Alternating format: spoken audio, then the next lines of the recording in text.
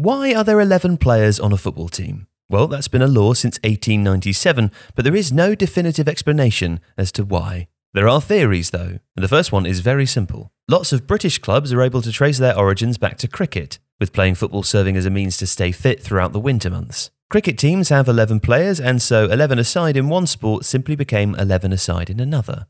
Alternatively, it might have just been trial and error. Goalkeepers were introduced in 1871, after which 11 players might have just evolved to become a conventional norm, possibly as an ideal amount for the various outfield positions on the pitch, or the amount of space that needed filling. In 1897, the maximum length of a football pitch was reduced from 200 yards to 130, but the team's size survived that reduction, was formalised, and has remained the same ever since.